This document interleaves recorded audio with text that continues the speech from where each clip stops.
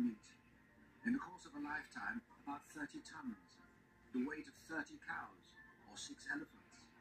And because the body can't store energy for long, this intake must be constant.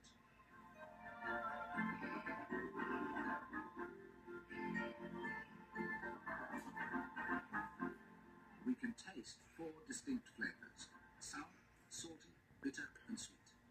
Our choice is based on appearance and smell.